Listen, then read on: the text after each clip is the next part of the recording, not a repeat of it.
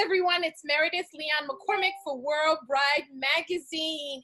And we are here again doing another one of our WBM summer series. And we want to thank all of you guys for your continued support. Continue to support us on YouTube, Instagram, and Facebook. Like I promised you, we were going to bring our most intimate conversations to you with some of the most wonderful, talented, gifted artists, professionals in the industry. And I have the honor of having this conversation with one of the beauty industry's most respected beauty artists, makeup artists. Now, I'm going to ask you to correct me when I say your name. Michaela Warabi? No. Warabi. Did I say that right now? Close. Close. It's, it's Correct me. Warrior. Michela Warrior. Okay, Michela Warrior. Did I do that right now? Yes. Yes. And I am not too shy to say that I don't know something and ask to be corrected because it is the most respectful thing to do is to honor somebody by pronouncing their name correctly. And I want to show you the utmost honor. Thank you for the correction. Thank you. I appreciate that. So please, can you give us a brief history on who you are in the industry? What brought you into the beauty the beauty arena? Um, I, well, I've been a makeup artist for about 10 years, um, and eight years of that time I've been fully dedicated to makeup, uh, sometimes fully as an artist, sometimes uh, in other roles, but I came into the industry really on a part-time basis, really just trying to be cute at the counter. As um, you are. Annoying, thank you. Annoying all the girls at the MAC counter, asking all the questions, um, and uh, got a part-time job at a, a, counter while I was also maintaining a full-time job in information systems uh, sector. That's where my background is, and um, I really started loving it because I saw the relationship between makeup and art where makeup really is using uh, makeup artistry, like actual makeup products as your medium with human faces or bodies as the canvas, but it's art nonetheless. And uh, so my love and appreciation for the craft started to grow there. And in 2012, I went full time uh, doing makeup. Wow. What a history. Now mm-hmm. that takes boldness and courage to be able to say, I'm going to keep going and I am going to go to you and ask you questions until I figure out what I want to do. yeah.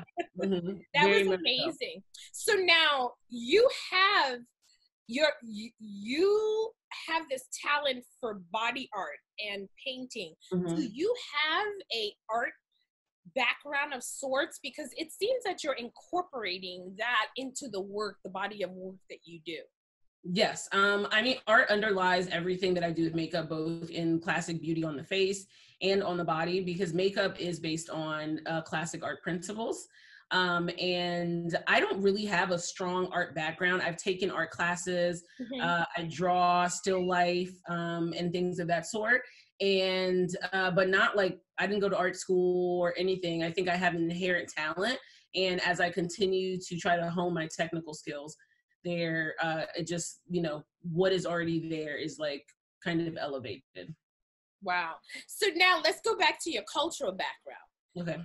You are from the continent of Africa, yes. but give us a little history about where in Africa you're from. Okay, so I was born in Liberia, um, and I'm also half Nigerian. My mother's Liberian, but my father is Nigerian. And we immigrated here in 1990, so I was pretty young. But uh, the way our culture works, um, and because so many of us immigrated at the same time due to a civil war, we kind of created our own little communities and right. grew up eating our food, having our cultural standards, as opposed to what was the standard in like you know the community around us um, and so that, you know, has influenced greatly who I am, my work, how I view art and the aesthetics and things of that sort. And your work, your social media is absolutely brilliant. It's Thank reflective you. of your culture, um, your makeup, your attentiveness to black skin, and mm-hmm. just skin in general, you know, yeah. but particularly to black skin, how you're able to mix it. Do you feel that your cultural background has influenced it to the point where you can't and that's that's where your love for color and texture comes from mm-hmm. yeah 100% i think culture um, influences who we are inherently and how we see things regardless of what industry you work in and if you are working in a visual industry mm-hmm. even more so um, so with me working as a makeup artist and body painter, uh, you know, the textures of the Nigerian lace, the Ankara, the, you know, the Liberian country cloth and uh, the masquerade and all those things, uh, regardless of if you recognize it or not, they're definitely going to be made manifest in your work. And, you know, which leads me to the greatest part that I wanted to ask you because I can't stop thinking about it. You just worked with Beyonce. Well, not just. The film, yeah. you mm-hmm. know, Black is King just came out and you did the body yes. paint magnificent. Yes. Please tell us about that that experience and what was so, the inspiration. Um, there were a couple of body paints uh, for Beyonce and the whole Black is King project, and I did the one that was for the Already video. Um, and the other ones were done by the incomparable Francesca Tolot. So people have been mixing up the work a lot, so I just want to make sure that she gets her due credit as well. Um, so I did the one with Beyonce and the tree, and uh, a lot of it was inspired by, um, you know, traditional West African uh, art, um, as well as um, some iconic body art from the 60s and 70s. Mm-hmm. Um, and you know, we just made it be and relevant to what they were trying to create. But yeah, that was the design I came up with absolutely beautiful absolutely beautiful so now the reason why i wanted to even have this conversation with you mm-hmm. because um you got inspiration based on a culture a region a people and everything mm-hmm. else and when we tell our brides to look for a makeup artist and to look for a hairstylist we tell them if you're not getting an artist that is able to convey um, narrate a story that you want and work on your body, your skin, your hair that way, I think you're making a mistake. You know, so, so one doesn't go without the other because uh, you know, it shouldn't be that day that she wants to try the purples and the blues that she wants. You know, it has to be themed, you know. Yeah, so can you give our brides some tips and, and hiring you, first of all, and how to hire any beauty professional? Yeah, I think um, when you're trying to hire a beauty professional, it's about the right fit. Um, and I think what you said is so important about someone understanding about telling a narrative because I think people sometimes don't think that's important for a wedding, mm-hmm. but weddings are themed events. And so the bride's aesthetic should be honoring that theme. You know, if you're doing Great Gatsby, then maybe this isn't the time for you to be doing like a sharp wing in a cut crease. Like that's not it. You know, that you need someone that understands how to create a mood or moment or to complement what you've created with the aesthetics of your wedding and the floral design and whatnot. So, um, you know, when you speak to a bridal artist, one, there has to be a, like a level of connection there because right the makeup artist is typically the last person that the bride is working with before she puts her dress on. Yep. Dress or suit or whatever, you know? And um, so it's important that there's a connection there because we are not just playing the role of makeup artist at that point. We are like, you're calm. You know, we're keeping things settled. We are just allowing you to focus on the fact that you're about to meet your partner down the aisle. And uh, so it has to be that connection. And then um, that person has to understand what you're aiming for, who you want to be on that day. And they use their expertise to help you tell that story. You know, you may think you want a smoky eye, but there's so many different smoky eyes. Right. So the person needs to be able to convey that to you in layman's terms based on their expertise to say, this is the dress you've shown me. You've told me this is your aesthetic. This is where you're doing your, you know, having your nuptials and ceremony and reception.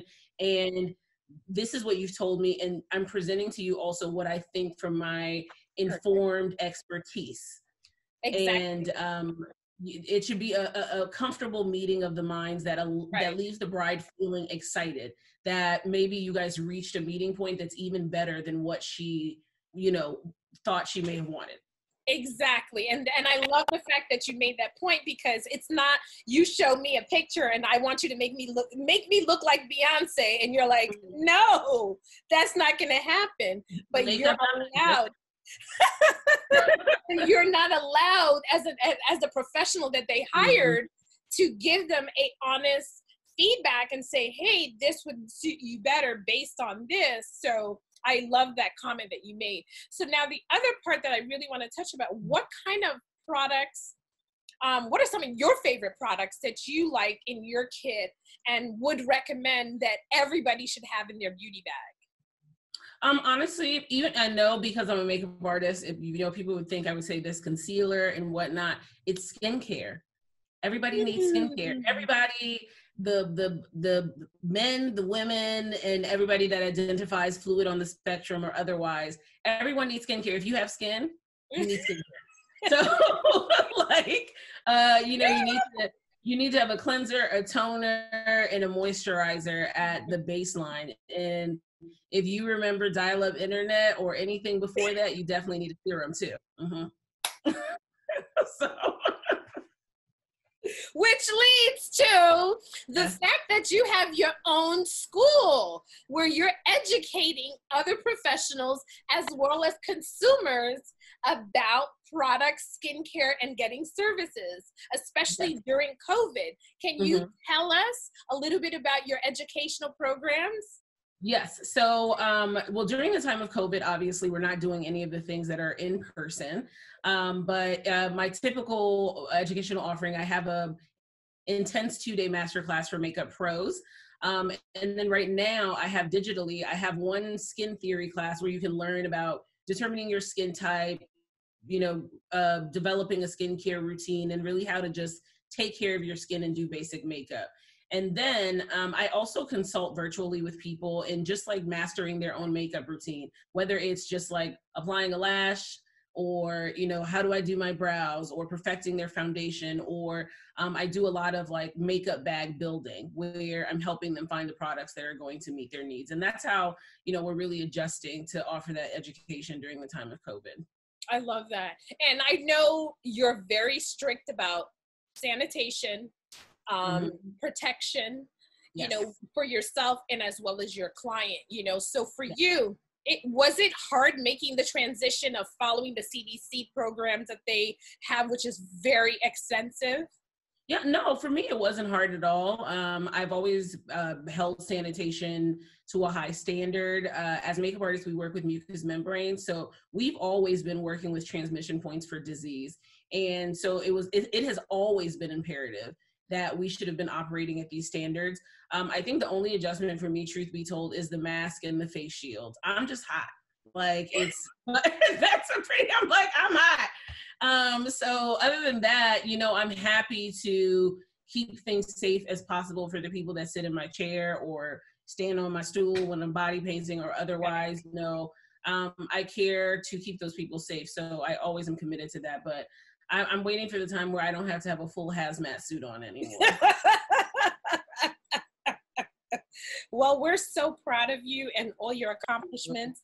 Amazing job that you did on with with Miss Beyonce, Queen Bee herself. It was Thank amazing, you. gorgeous. It says a lot about you. And from what I hear, it's been you've been on that project. Uh, it, this happened a year ago, and you kept that under wrap for that long. One, one, year. One year. What? It's like absolutely it's, brilliant.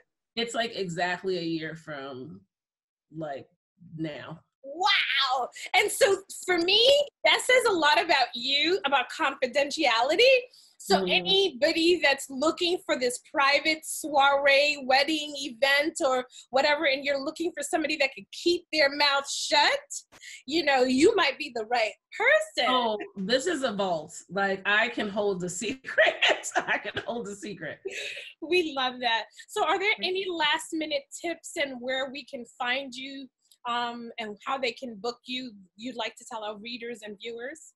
Yes, uh, you can find me via all social media platforms. Um, uh, Insta, well, not all. The Instagram and Twitter uh, is Michela Wariebi, and uh, you can find me on my website at michelawariebi.com.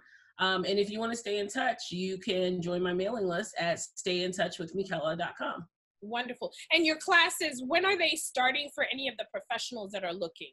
Um, I'll probably be back to doing in-person professional classes uh, come spring. Okay. Um, I want to make sure that everybody is safe, and we work with models, so it's always a lot of people in okay, makeup and Um, but, but I will be offering a lot more digital education in the upcoming months for pros and consumers alike. Uh, so there's there's a lot coming down the line even before we start doing in-person education perfect. Thank you so much for your time again. You are a gem, and I am so proud. And ladies and gentlemen, what I failed to tell you, she was one of the makeup artists that held um, that did one of our most special covers stories. It was the contest that we do with Real Brides, Real Beauty. And she made these brides feel so special. She made them feel and look like they were Beyonce, you know, to the point that they still have followed you. I watched them. They follow you. They're obsessed with you, Michela. They love you. They love you. I'm still, I'm actually still in touch with, uh, I'm still in touch with two of those brides. Yeah, they love you because you you make people feel special. It's not a, oh, you're a celebrity and you're not. You make each woman that sit, each person that sits in in your chair special. So thank you for that. You know, and we're honored that you graced our pages, you know, with your work. So thank you again. So, guys, please. oh, it's my pleasure. Everyone, I want you guys to please follow her on her website. We're going to give you all the information. And we want you guys, if you are planning a soiree and you need a professional, a beauty professional, please reach out to her and I guarantee you will not be disappointed. And any work, Instagram is the hottest thing to stalk her on. I, I do it. So please go ahead. So until the next time, please keep up with us on Facebook, Instagram, and YouTube. Ciao, Bella.